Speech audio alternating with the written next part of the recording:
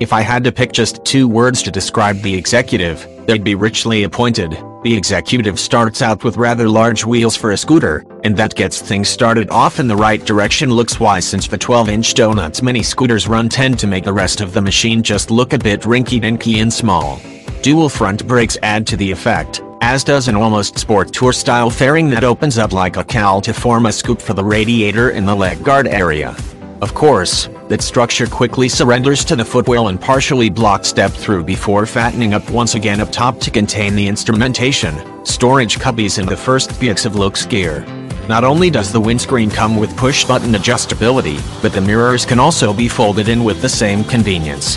Gotta say that last is a bit unexpected, but I can definitely see the benefits thereof, especially given the 31.9 inch overall width. Better to fold them and then smack him trying to filter or negotiate a cramped parking space.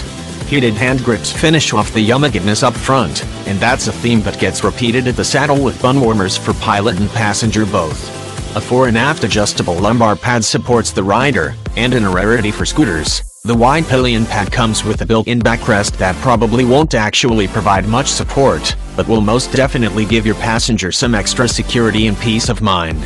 Under the seat is the 50-liter storage compartment that comes locked and lighted with room for a pair of full-face buckets, as long as they aren't great big honking modular helmets. The factory provides a cable lock for external helmet storage to free up the underseat area for other cargo. There aren't many variations this year, but the white double stitching on the seat adds a nice little bit of contrast that really makes the saddle pop, and the brake levers come in black to match the rest of the controls and dash area. Viewed from the rear, the passenger's backrest upright dominates the look, but the beefy rear end runs a close second with large tail turn lights and a wide mudguard that doubles as a plate holder. Overall, the executive carries itself with a certain amount of class and maturity that is hard to beat and sure to appeal to young professionals and business commuters alike.